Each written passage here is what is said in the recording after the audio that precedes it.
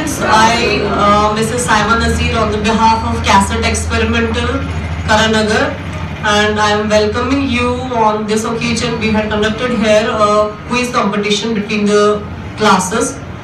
So let us start this day. I hope a good way, I wish a very good luck to all of the teams.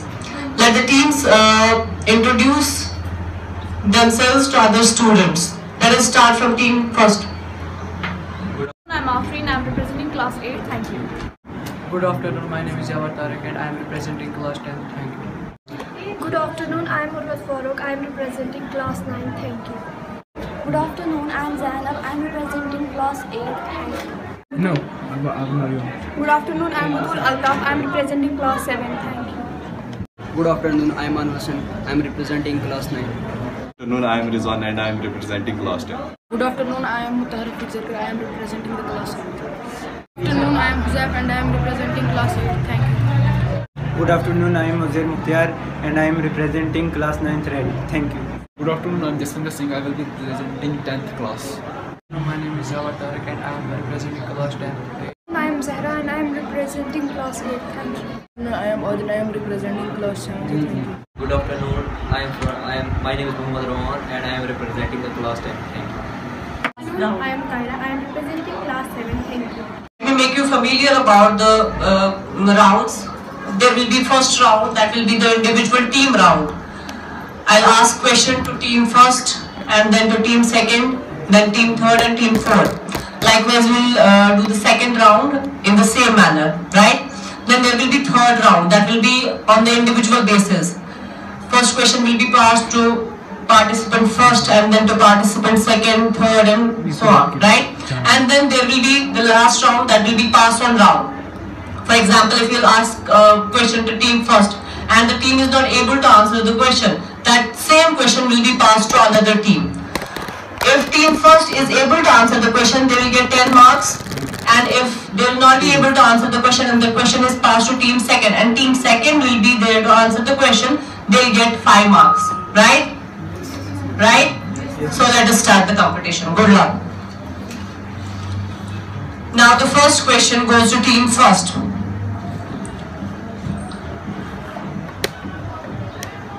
How could you define scalar quantities and vector quantities?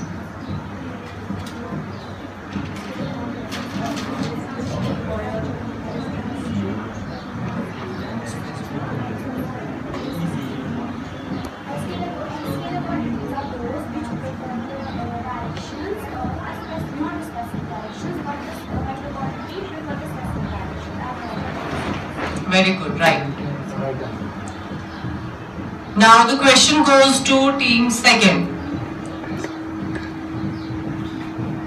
List the points of difference in between speed and velocity.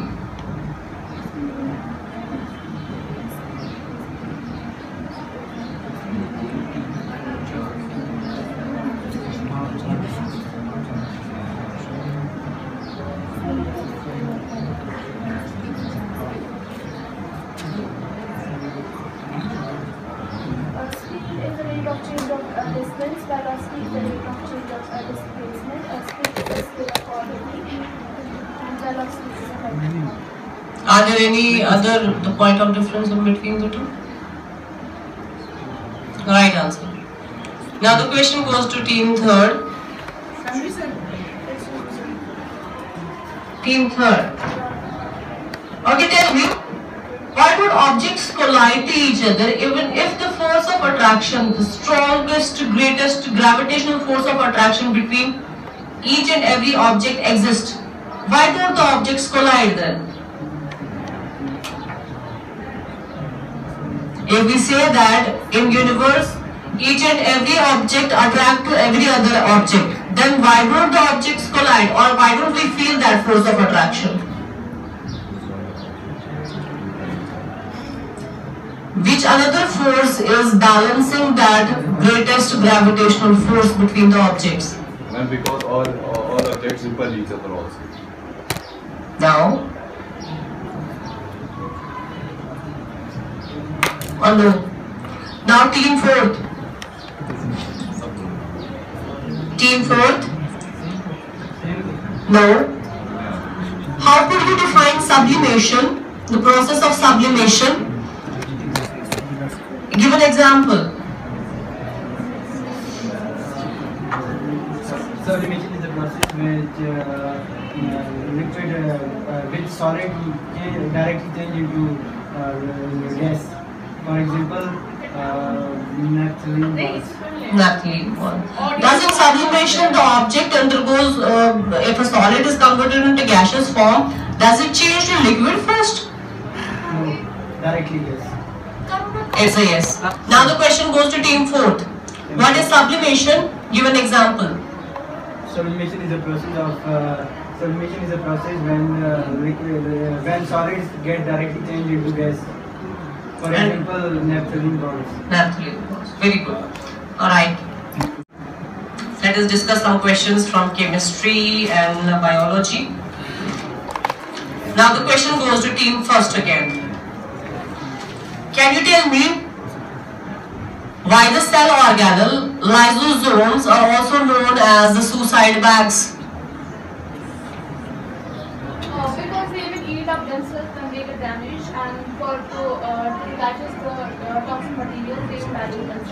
Very good. Now the question goes to team second. Can you tell me the currency which runs throughout the body, the energy currency which runs throughout the body? Which type of currency? What is the name of that currency which runs throughout the human body?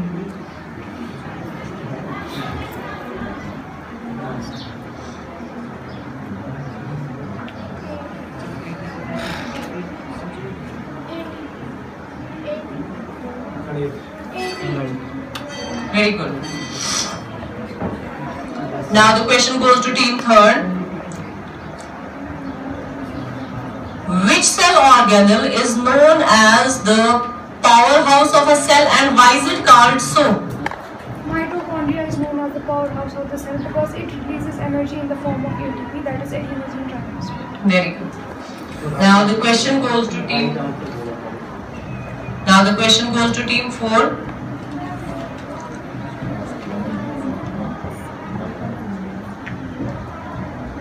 How could you define pressure and what are the SI units of pressure? What is pressure and what are the SI units of pressure?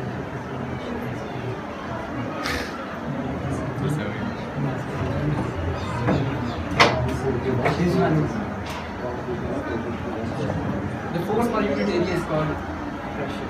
And And what are uh, SI units? Pascal is. Right answer. For round first, 10 points to team A, 10 points to team B, sorry, no point for team C for round first, and 10 points for team D. And for round second, all the teams have got 10 10 points. Congratulations. So uh, now let us start uh, round third. Round third, as you know, Okay now, let us start round third. In round third, we'll ask the questions individually to the students, right? Are you ready? Okay. Now the question goes to uh, Roman from team A.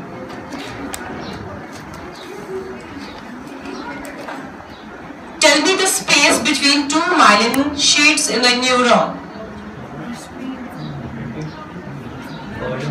Space between two myelin sheets in a neuron.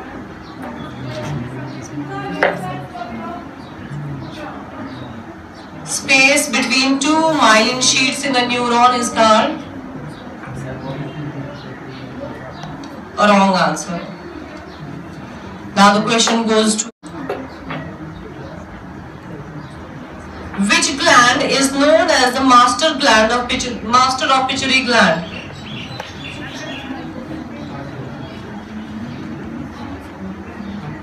Sorry?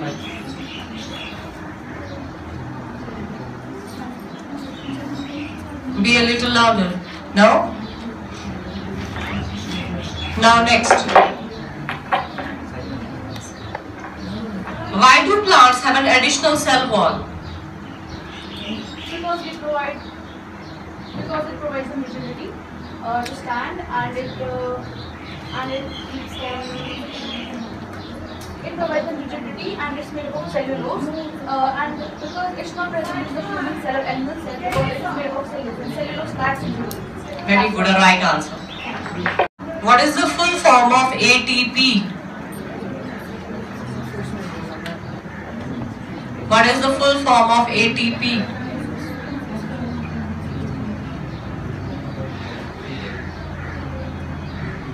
Okay. Now team second. The question goes to Yavar. How could you define weight of an object?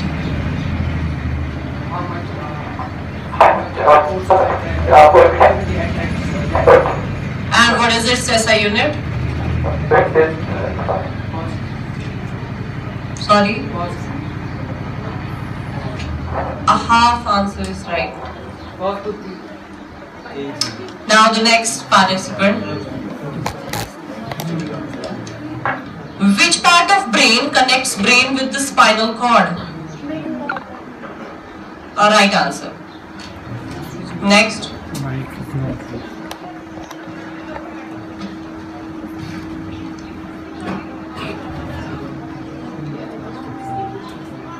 What is a tissue? Tissue is a tissue is formed from cells and tissue forms organs. When many organs dry, it forms hormones. I'm asking about tissue. What is a tissue? Tissue is made up of many cells. Many tissues together form an organ. A half answer is correct. Now the question goes to next participant.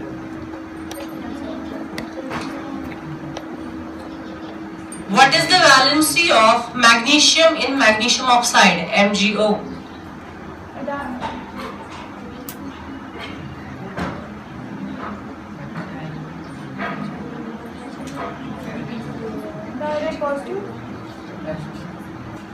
Right answer. And face Face is 14 bones. and cranium, Has 8 bones. right answer. Now the next participant.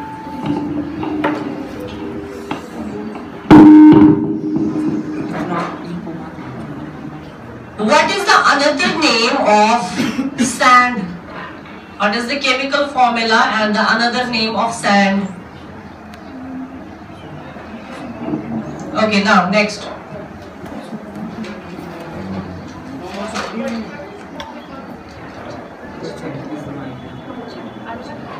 What is jet propulsion mechanism?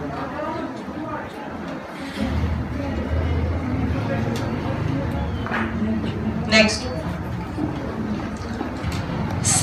Are collectively known as Mechanics. a right answer. Now team 4, the first participant.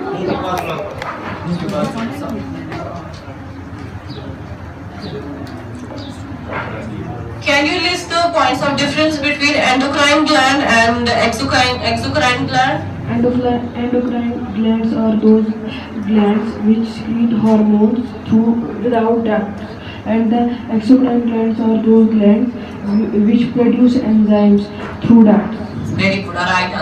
Next. What is the pituitary gland?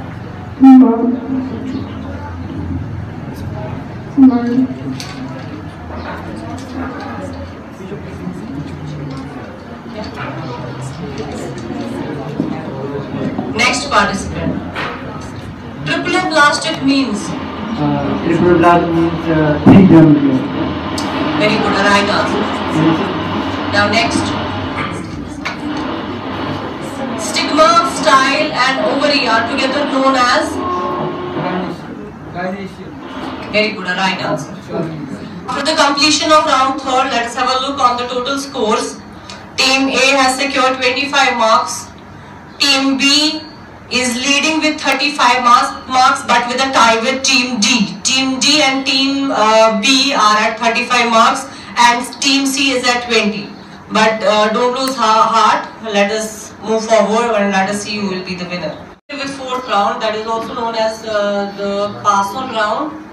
I'll ask, for example, the question to team A. If they are not able to answer the question, the same question will go to team B and so on, right?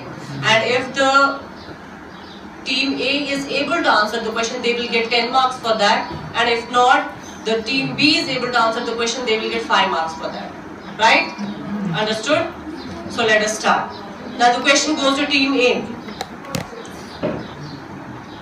Name the gland which is both endocrine and exocrine in nature. Pancreas. Very good, a right answer. Now the question goes to team B. Name two conducting tissues. Xylem and phloem. A right answer. Now the question goes to team C. Pons varolii is a part of mid, fore or hind. Pons varolii is a part of mid, fore or hind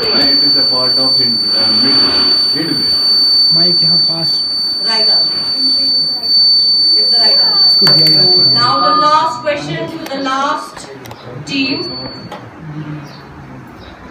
Which part of brain constitutes 80% of it? Very good, a right answer.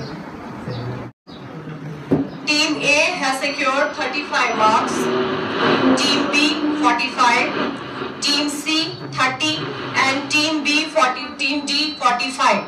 So Team D and Team B are at position first with 45 marks and at position second there is Team A and at position third there is Team C. But there is nothing to lose heart about.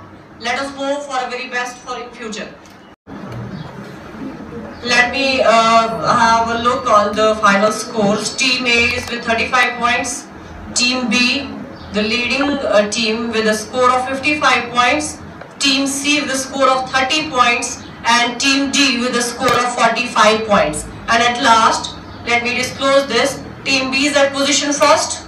Let us have a big round of applause for Team B. Team D is at position second with a score of 45 points. At third position there is Team A with a score of 35 points. And at last position there is Team C with a score of 30 points. But there is nothing to lose heart about let us try in the next uh, quiz competition or in the next competition. A very good luck for all the four teams for your future. Thank you so much. Thank you, ma'am.